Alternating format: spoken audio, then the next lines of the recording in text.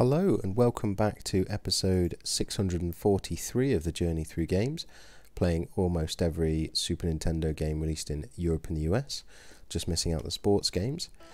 And today we are playing Chester Cheetah. Let's just turn the volume down a touch. Um, yeah, we are playing Chester Cheetah in Wild Wild Quest, I believe it's called. Yes, that's right.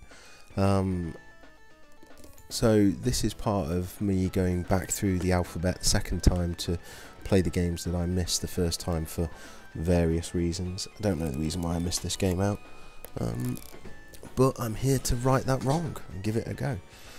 I was cruising on my bike with the map to the city sitting pretty in my saddlebag, then talk about a drag. Mean Eugene raced out from a speed trap to snap up my map.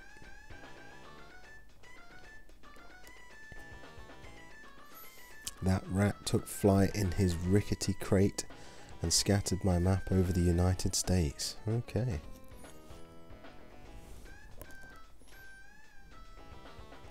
Now me and Eugene's hunting me down as I search town to town until every shred of map is found. Mmm, Chester Cheetah, eh? And when I snag all ten, I'm back on track to the city again. Is it meant to all rhyme?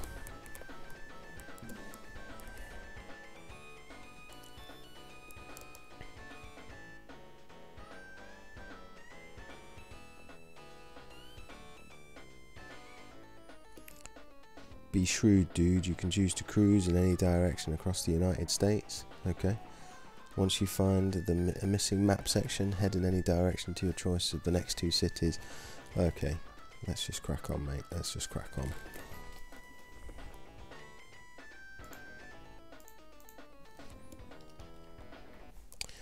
Right, here we go.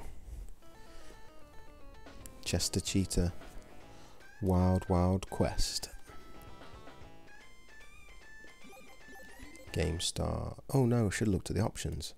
Oh well. Uh,